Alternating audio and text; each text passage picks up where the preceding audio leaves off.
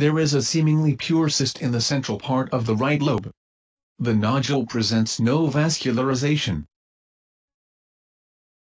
There is an echonormal nodule which has halo in the left lobe. The nodule displays signs of paranodular blood flow.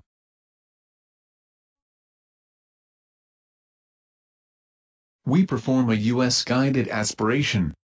The tip of the needle is clearly visible.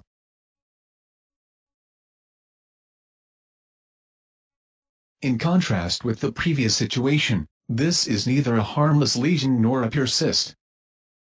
This is a minimally hypoechogenic nodule which has microcalcifications.